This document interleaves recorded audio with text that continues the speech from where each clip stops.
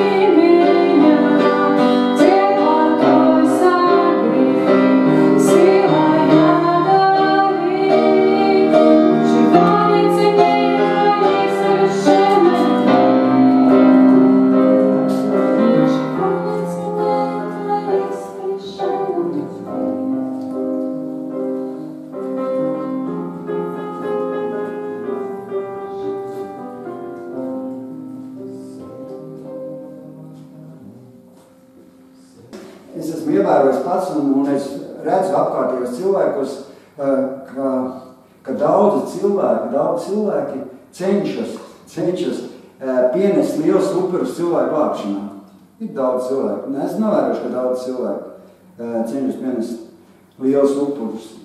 Citi pārdod pat automašīnas, zeltu, no daudz kā atsakās un dara visu iespējamo un neiespējamo, lai uh, smagi cilvēki kļūtu veseli Daudz cilvēku rūpējas par citiem cilvēkiem. Es, piemēram, biju iepriekš draudzēs, nu, kad es tikko nācu pie Dievs tendē draudzē, ja, tā draudzes telpas uh, nopirka viens sievieti. Viņa ziedoja savu īpašumu, savus māju, ka, nu, vecstāvu māju ziedoja, nu, un par to nopirka draudzes telpas. Viss, nu, draudzes namu. Un liela svētība radīja.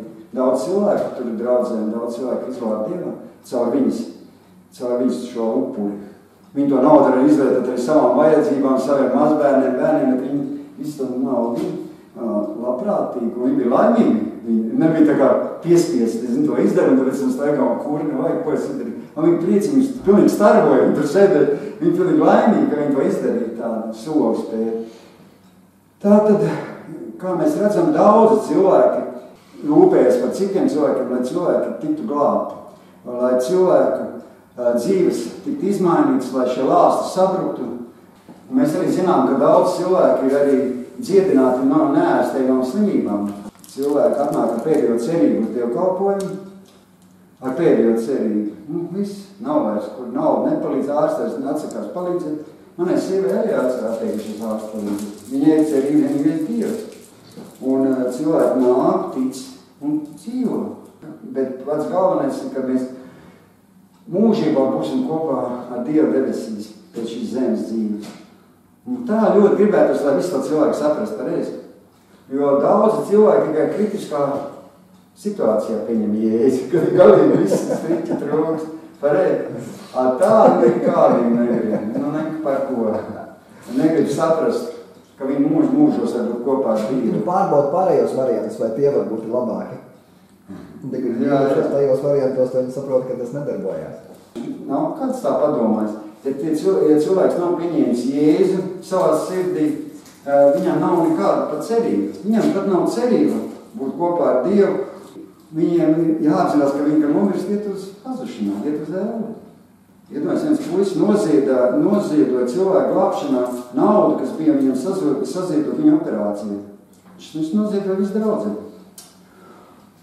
Un daudz cilvēku tika atbrīvot no lāstiem un iznāca priekšā nožēlo grēks. Tiešām man pat nepietika vietas uz skatuves. Zini, kā tur bija?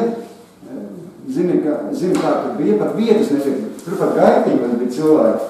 Un es arī tam ticu, ka daudz cilvēki arī šodien uh, citu cilvēku glābšanai ir gatavi pat uh, riskēt ar savu dzīvību. Mm. Tas nav nebija tikai toreiz, kad bija tie visi mācekļi. Arī šodien ir cilvēki, kas citu cilvēku no glābšanai riskē ar savu dzīvību. Mēs zinām, ka austrumu zemēs, kur ir visi tie islāms, tur cilvēki riskē. Viņi, kristieši riskē ar savu dzīvību, lai, lai um, glābtu cits cilvēks. Bet mēs arī zinām, ka sātans, sātans vēlas izolēt ik- ikvienu ticīgo, lai viņam nebūtu pieeja pie cilvēku glābšanas. Lai cilvēki neko nedara. Zini, kā sātans grib? Lai cilvēki nāk uz draudz, mierīgi sēdēt, noklausās divkopā aiz mājas, nevienam par Dievu nestāst, nevienam, nu, nevienam nedraudzētos ne ar vienu neticīgu cilvēku. Lai nāk savā lociņā, kristieši tur apgrozās, tur nevienu tur neiet klāt pie tiem nu, neticīgajiem, jo tie ir, nu, tie ir pagāni, tiem nevajag, viņi tik draudzējas, un, ču, ču, ču, un tā viss savu dzīvi. Atnāk uz dievkalpojumu, uz mājām, un, un tik domā par savu garīgo izaugsmu, kāds es esmu garīgs, un cik man ir labi. Jo, un zinu, ko esmu novērojis, ka pārsvarā, jūs neesat novērojuši, ka pārsvarā jaunos cilvēkus pieved Dievam, kas pieved? Eh, Pieved jaunie kristieši. Viņiem vēl tie radinieki daudz neticīgi, nu, viņi nāk ar jauniem kristiešiem. Tikko viņi, viņi nāk un glāb daudz cilvēkus. Bet tie, kas ilgi gadus, jau ir ar Dievu pārstāja. Viņi pārstāja ietekmi taču pats savu. Viņi sazinās tikai ar savējiem. Nesat ievērojuši, ka viņi sazinās tikai savā lokā. Kas ir nav ticīgi, viņi tādiem pat nedraudzējās. Viņi draudzējās ar saviem kristiešiem. Nu, savā lociņā, zin, tur. Un viņi ir ļoti garīgi, zin, tādi izskatīties, un viņi ļoti, viņiem visi draugi pareizi, visi, tādi, nu, nav ievērojuši tādu, nu, Nu, kur tur tā pagāniem ies kopā, tur sēdēs pie galā, tā kā Jēzus, bet Jēzus jau gāja, Jēzus jau mums paraugs. Viņš jau gāja, viņš nāca, lai glābtu cilvēks, viņš sēdēja ar muitniekiem, tāpēc jau tie pareizēji uztraucās, un teica, ko tu tur, ko tu tur sēdi pie viena galva. Un tāpat tas arī mums tā vēra, te reliģijos cilvēki, skatās aiziet tur kaut kur, ko tu tur auto, Pedro, ko tu tur sēdi, tas jau nav ticības. Nē, tu, ko tu tur sapinies? nu, jā, reliģijos. Viņā tās, tā kā vecā, tā kā tenīs laikos, tā kā pareizi. Tev vēl soli. Es, kā biju stendē, nu, tādā vasaras vai draudzē, um, es arī nu, gāju pie tiem neticīgiem un pieturās sēdēju viņiem un stāstīju, stāstīju viņiem, stāstīju viņiem par Jēzu un zin kā bija. Man tās tantiņas, kas gāja garām, teica, ko tu, tu, tu iet uz draugus, tur uh, iet uz dievkalpojumiem un sēd, sēd ar tādiem kopā. Es arī esmu dzirdējis, ka viens, viens stāstīja, nu, viņš te viņam prasīja, nu, kā tev iet to glābšanu, tu vari kā cilvēku izglābt? jā. Viņš teica, jā, es kādreiz baigi sludināju, viņš, ka es ļoti sludināju visiem gāju, bet ziniet, tagad man neviens durvis nevar vaļā.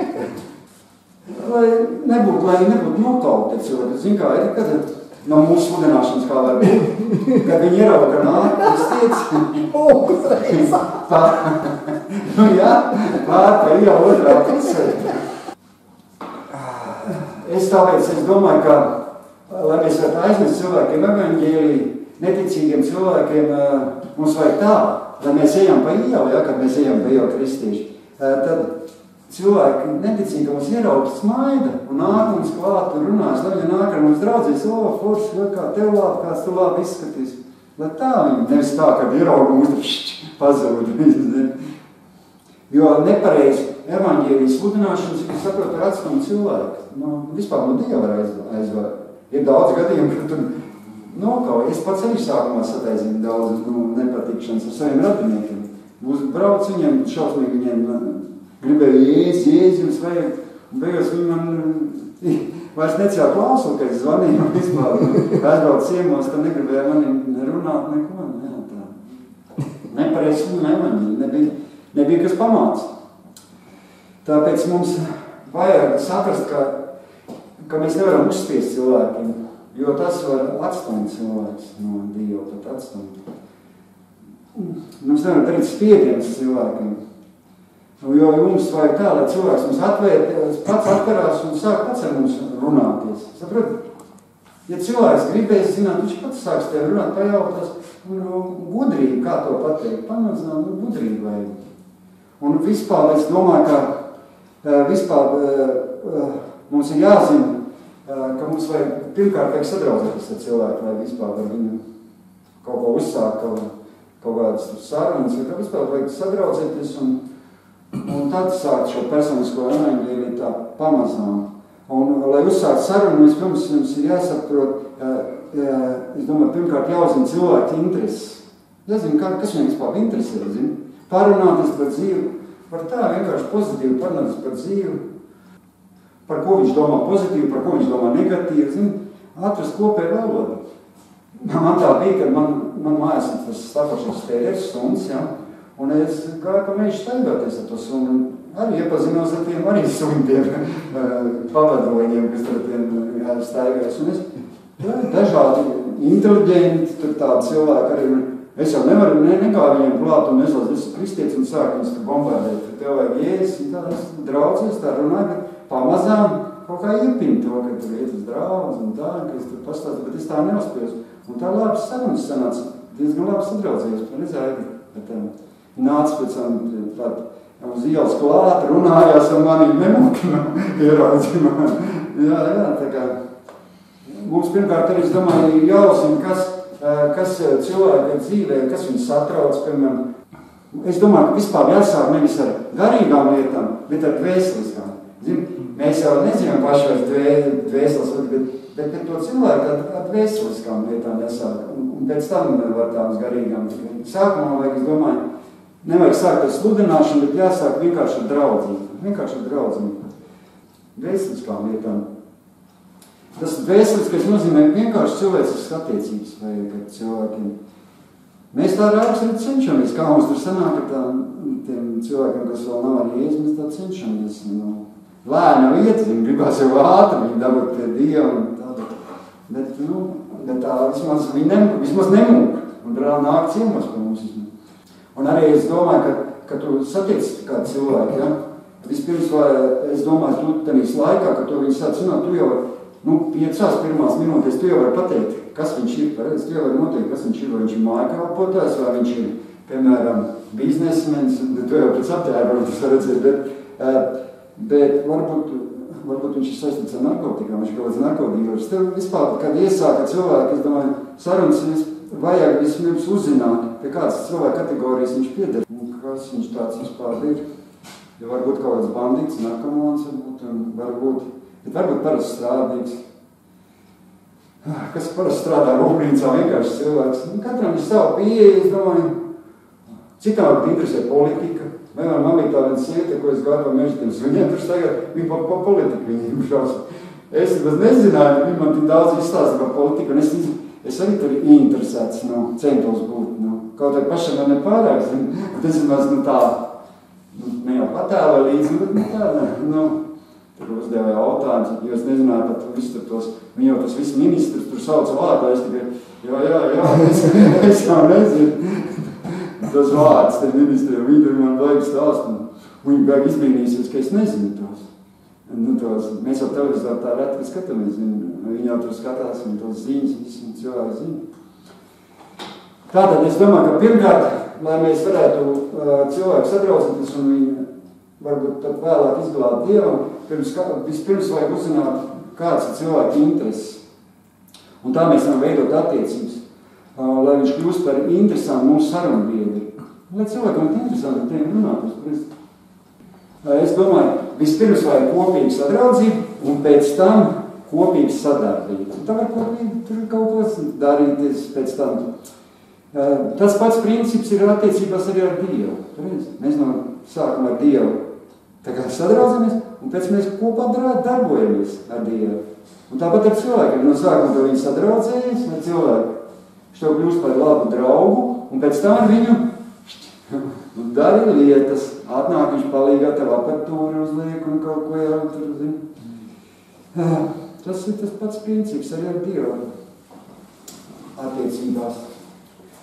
Jo Dievs arī, jo Dievs arī pa, pamazām sāk darboties cilvēku dzīvēs. Tā kā mēs ar cilvēku iepazīstam sāk pamazām darboties, tā arī Dievs pamazām sāk darboties cilvēku dzīvē. Un tad Dievs tev jau, kā tu esi jau ar viņu sadarbībā, var uzticēt kaut ko tev lielāku un vairāk. E, Man patīk tāda rakstvieta Bībelē. Es vienmēr, ir, es vienmēr atceros to rakstvietu. Amos grāmatā 3.3 rakstīts. E, Ja divi kopā staigā, vai tad viņi nav savā starpā jau iepriekš sarunājušies? Mēs nevaram iet kopā ar citu cilvēku, mēs neesam viņus sarunājušies. Kā mēs iesim tur ar, ar to, ko tu nezinām? Kā, kā jūs domājat, kas ir svarīgi? Lai cilvēks paliek draudzē vai nepaliek?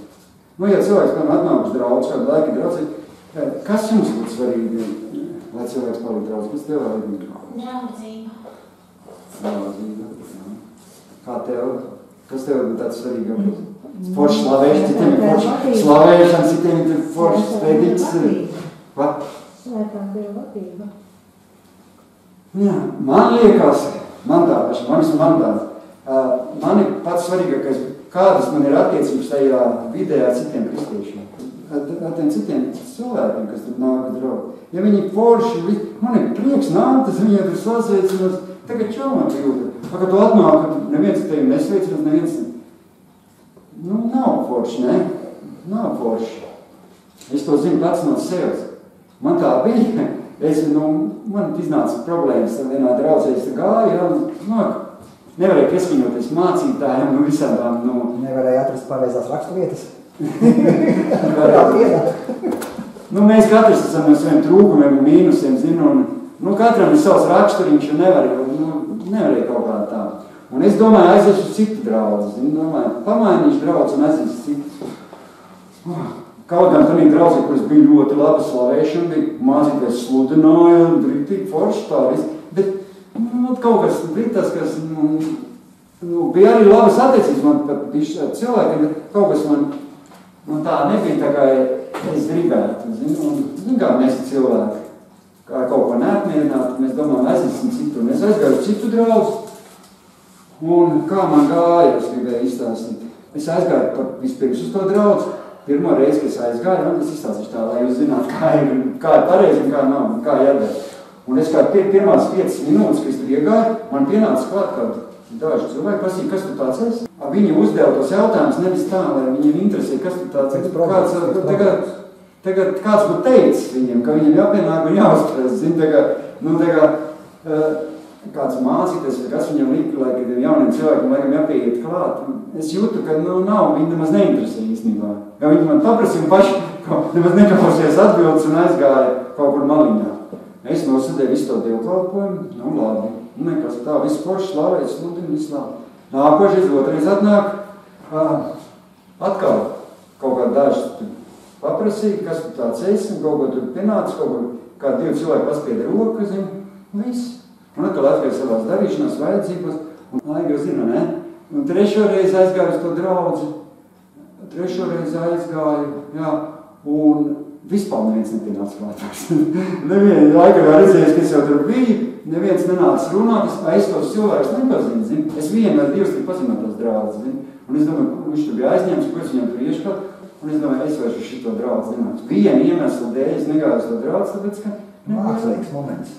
Nebija attiecības, nevien, nu, nebija draudz, nu, vajag to, nu tā, nejūtās tā kā mājās, nu, nejūtās tā draudzīgā sabiedrībā.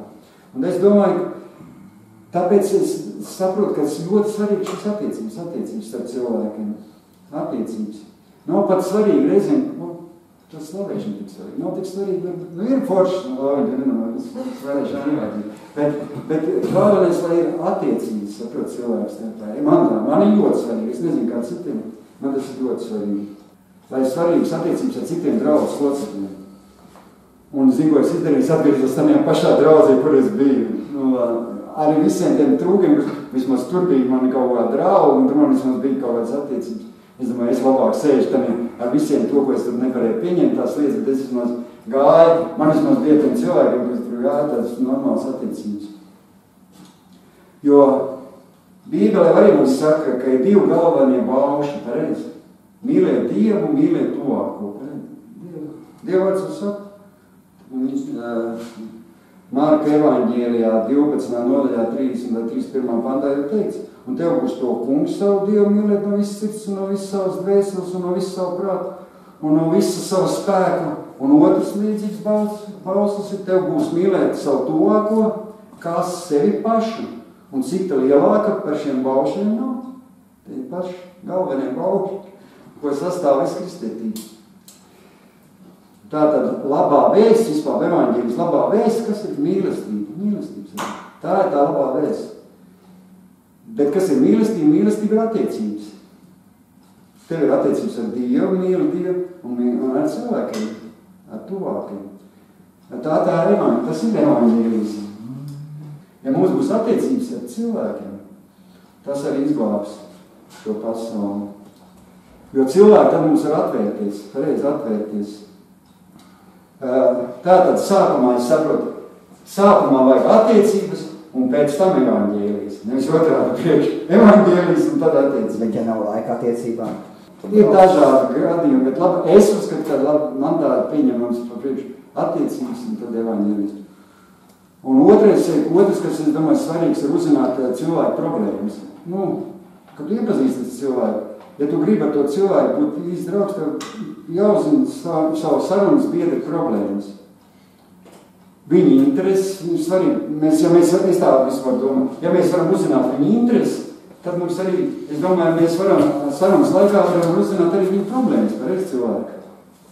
Un zin kā ir, es tā, es eju noskatīs, nevajag uzreiz steigties. Pašā sākumā neviens sev cilvēks neatklāja savas problēmas. Zin kā, ja parasti, ka uzprast nav tā, uzprast kā tev iet, oi, man ir viss krūti, zina, ok. Zin kā, pirmās atbild pašam varbūt neiet, parasti viņa, zin kā, iemācīt kristiešiem, ka kādam paprast, kā tev iet, krūti, ok, viss, vai labi. Un pēc tam, kad vairāk sāk runāt, viņam nemaz tik labi neiet. Beigās viņam nemaz tik labi neiet arī dzīvē. Tā, tā pirmā atbilde, tāpēc vajag cilvēku, es domāju, ilgāk tu pārunājas, un viņš pastāstīs par sevi, daudz ko vairāk, un uzzināsim tā viņam īstenībā.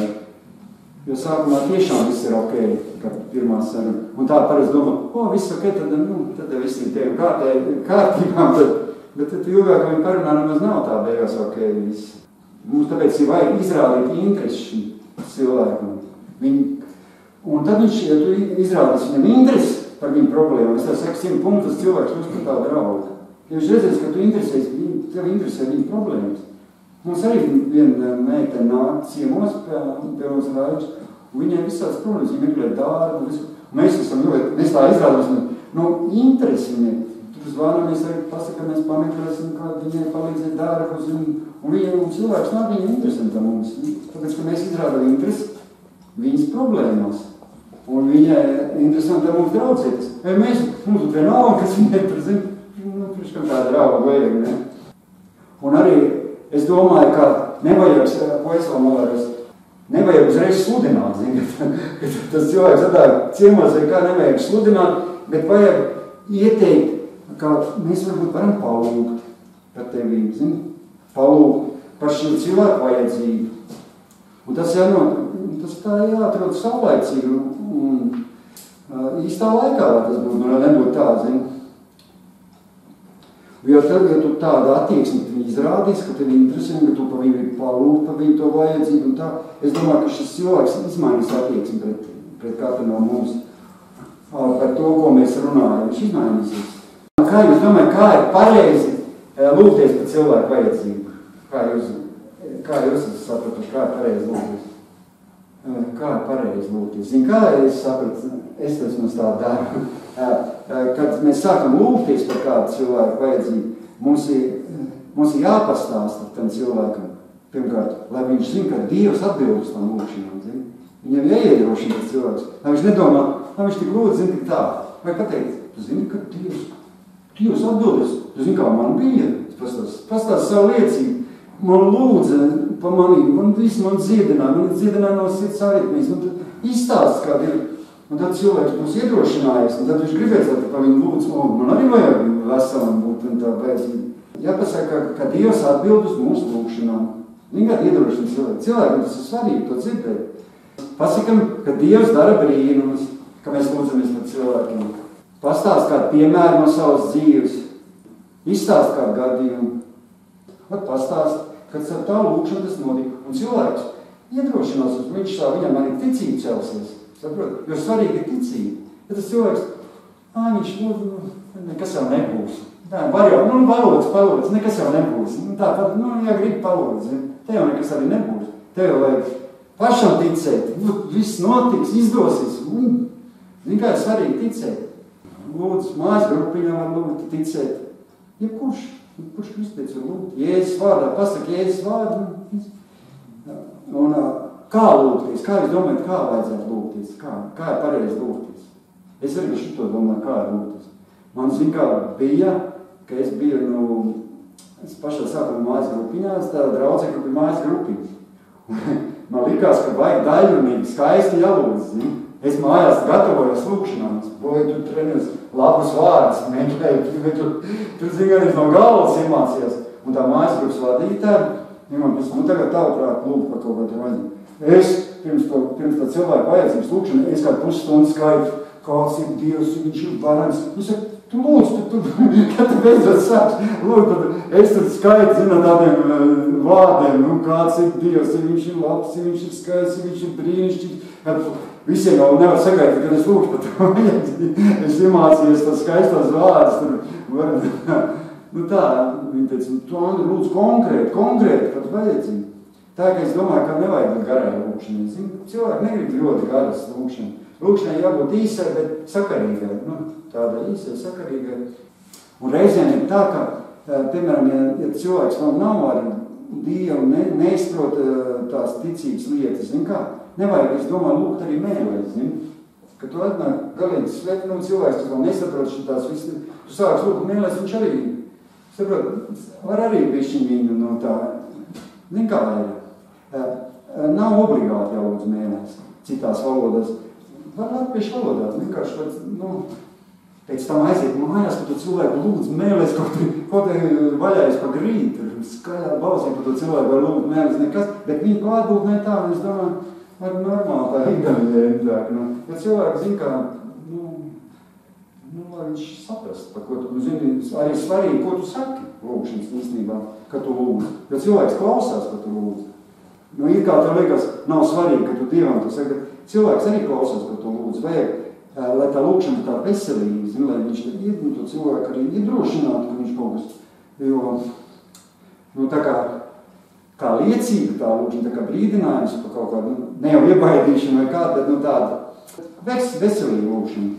Uh, nu, lūkšanai jābūt savā laikā un savā vietā.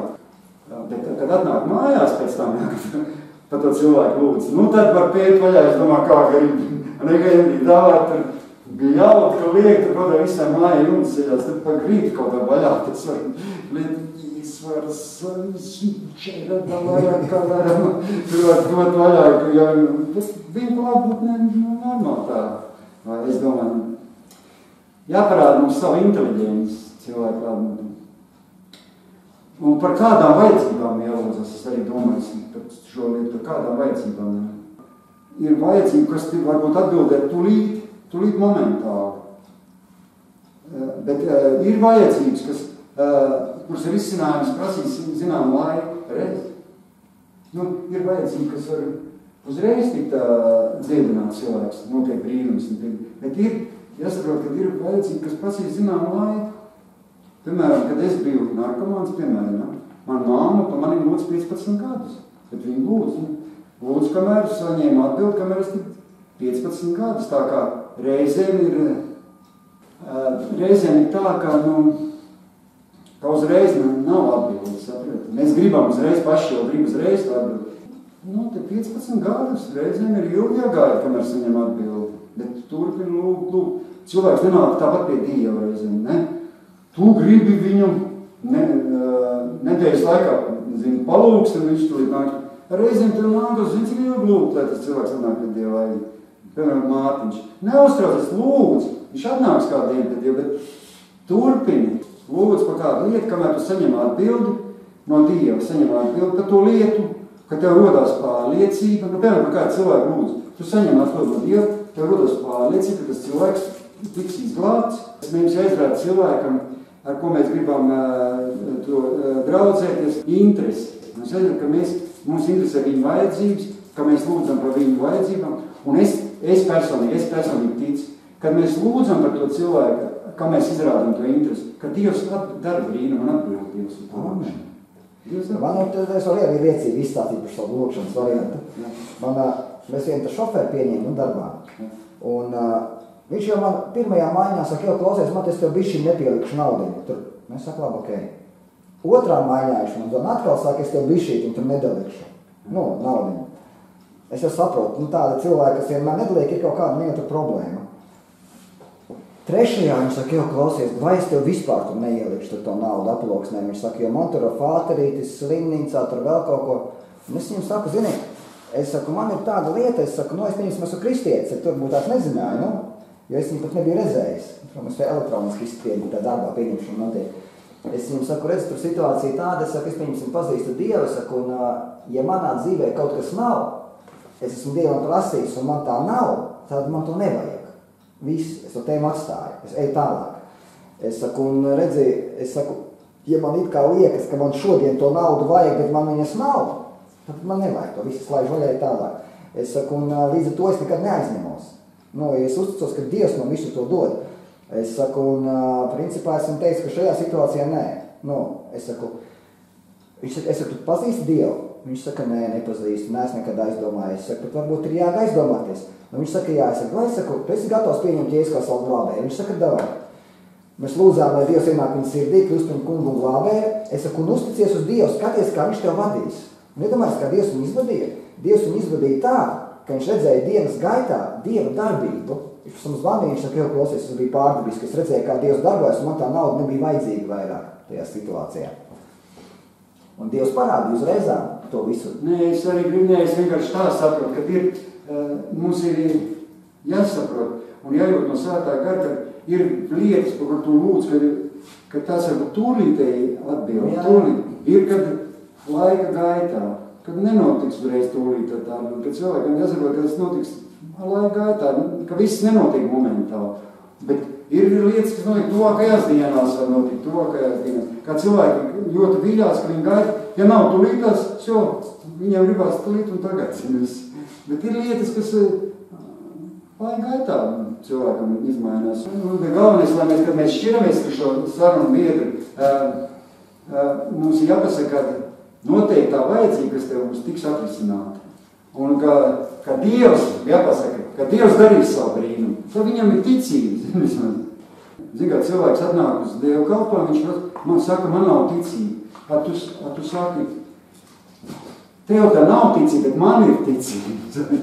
Es par tevi lūkšu, tu būsi dziedināts.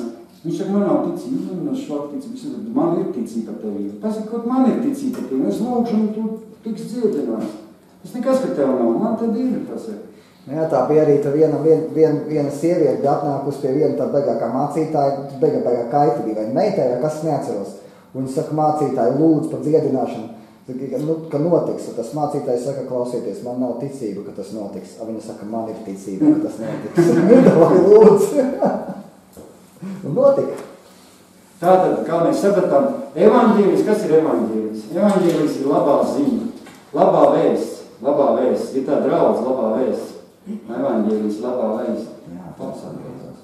Mums ir jāiznes līdz cilvēkam šo labo vēstu, šo labo ziņu.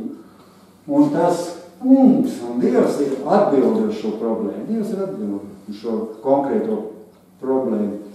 Eh, Un katra cilvēka labā ziņa ir tā, ka Jēzus ar savu naudu ir krusta, ko viņš darīja. Izglāba mūs no ēles un deva mums grēku piedošanu un mūžīgo dzīvību. Tā ir pati galvenā lieta ir, ka mēs esam izglābti, ka mums ir viss piedots, ka mums ir grēka piedošana, ka mums ir mūžīgā dzīvība. Tā ir tā labā ziņa, jo Bībele saka, jo tik ļoti Dievs pasauli mīlēs, ka viņš deva savu vienpiedzimušo dēlu, lai neviens, neviens, neviens, kas viņam tic nepazūd, bet dabūt mūžīgo dzīvību. Un tu tālāk teiks, un viņš uh, nāca uz zemes, nevis lai mūs tiesātu, bet lai mūs izglābtu.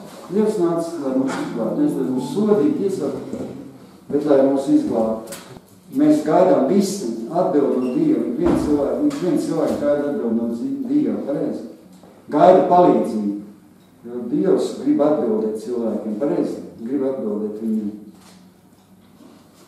Jo kas ir evaņģēlis? Kas vispār ir evaņģēlis? Kas ir, kā domājat, kas ir evaņģēlis? Evaņģēlis vienmēr asociējas ar atbildi vienu cilvēku dzīvē. Mums svarīgi aiznest cilvēkam evaņģēliju. Aiznest cilvēkiem evaņģēliju. Pareizi? Aiznest cilvēkiem evaņģēliju. Mums vajag just šīs cilvēku vajadzības. Un jādod pareizi atbildi cilvēkam. Kad, kuram ir tā vajadzība, saprot? Cilvēkam vajag ar viņu runāt, vajag ar viņā tas attiecības. Un, un vajag atrast viņam atbildi uz viņu tām lietām. Protams, Dievs tam nāks palīgā, bet, nu, Dievs mums lieto, Dievs mums lieto cilvēks. Īstenībā Dievs bez cilvēkiem neko tā pats nedara. Nemaz tā, no debesīm viņš, nu, nekāds, viņš lieto cilvēks, un tu esi instruments.